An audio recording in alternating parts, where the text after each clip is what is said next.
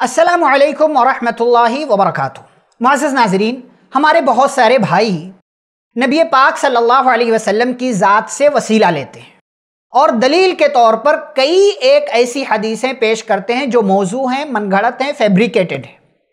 ऐसी ही एक हदीस है, या एक वाक़ है जो बयान किया जाता है, या ये लोग बयान करते हैं कि हज़रत आदम सलाम से जब गलती हुई और उन्होंने उस दरख्त का फल खा लिया जिसके खाने से अल्लाह ने मना किया था। तो जब इनको अपनी गलती का एहसास हुआ तो इन्होंने अल्लाह से जो तौबा की, वो मोहम्मद सल्लल्लाहु अलैहि वसल्लम के वसीले से दुआ किया और इसी बुनियाद पर अल्लाह रब्बुल आलमीन ने उनकी तौबा को कबूल कर लिया, उनकी गलती को माफ़ कर दिया। पता कैसे चला? कहते हैं कि उसी मौजू हदीस के अंदर ये बात बयान की जाती है कि अर्श पर उन्होंने लिखा हुआ देखा था, ला इलाहा इल्लल्लाह मुहम्मदुर रसूलुल्लाह।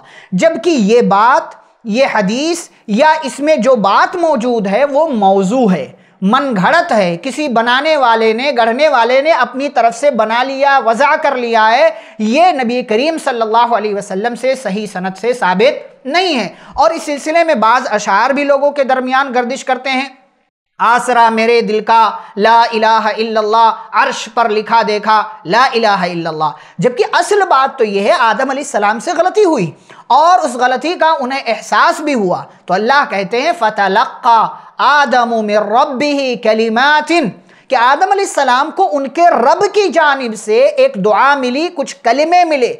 उस दुआ को उन्होंने रब के सामने रखा, जिस दुआ का ज़िक्र अल्लाह ने सूरत आराफ में किया है। रबना वलमना अनफुसना व इल्लम तगफिलना व तरहमना लनकूनन मिनल खासिरीन। ए हमारे रब, हमने अपने ऊपर जुल्म किया, अगर तूने माफ़ नहीं किया, रहम नहीं किया तो हम यकीनी तौर से खसारा उठाने वालों में से हो जाएँगे। ये असल बात है। लेकिन इसको दूसरा एंगल दे करके एक मौजू हदीस का सहारा लेकर के ये कहना कि मोहम्मद सल्लल्लाहु अलैहि वसल्लम के वसीले से आदम सलाम ने दुआ किया था और उनका वसीला लेने की वजह से अल्लाह ने उनकी तौबा कबूल की थी। ये बात दुरुस्त नहीं है। ये बात जिस हदीस के अंदर मौजूद है, वो मौजू हदीस है मनगढ़त हदीस है और उससे इस्तदलाल करना, उससे मसला निकालना ये जायज़ और दुरुस्त नहीं है। वल्लाम वसलम वरहमल वर्का